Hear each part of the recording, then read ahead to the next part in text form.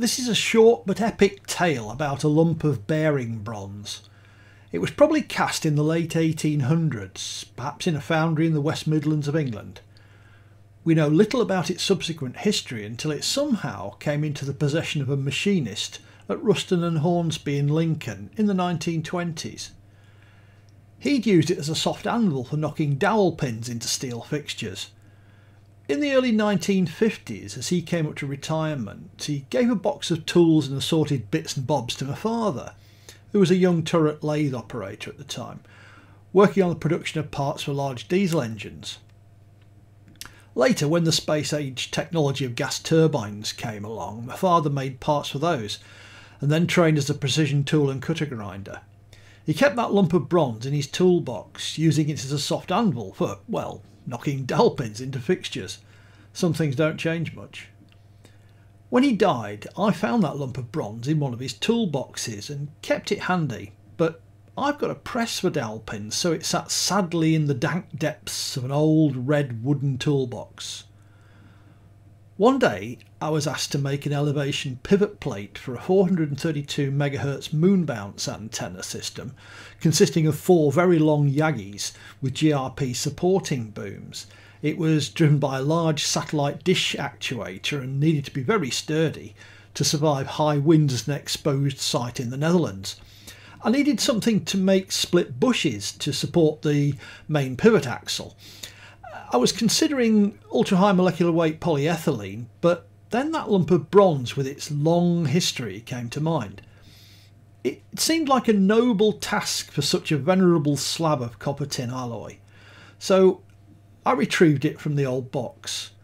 It was a bit green with verdigris, but I chopped it up with the bandsaw, drilled and reamed a centre hole, turned a mandrel with an M6 tapped hole to clamp it in place for turning, and set about machining the outside diameter to fit the bored holes in the bearing carriers.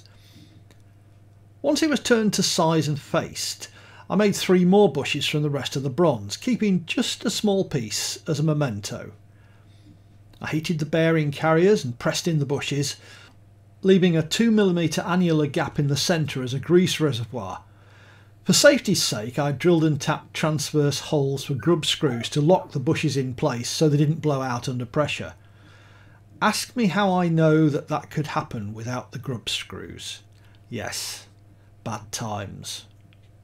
Now I just had to centre the bushes on the mill, drill the bore out to 19mm, then using a boring bar finish the bore to a 0.02mm running fit on the 20mm axle. Meanwhile, I machined up the knuckle that holds the axle pin from a large piece of 150 by 100mm aluminium billet.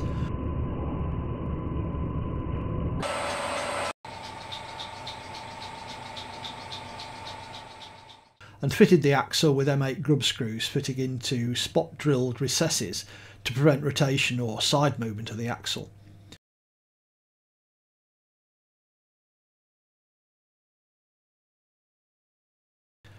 A smear of grease and the bearing slid nicely onto the axle with just the right amount of silky smooth resistance. Once the rest of the parts were completed and fitted to the 10mm plate, the elevation pivot assembly found its way across the North Sea and was bolted to the top of a large mast along with the four long Yagis and associated preamps and cabling. From the look of spots on the DX cluster, I think it's working very nicely.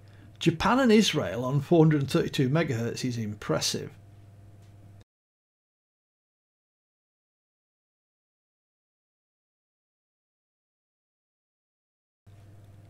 That lump of metal, born in a fiery crucible in Victorian England, is now doing sterling service for an expatriate Yorkshireman in the Netherlands, bringing a bit of joy into the hearts of 432 MHz moon bounce operators all over the world.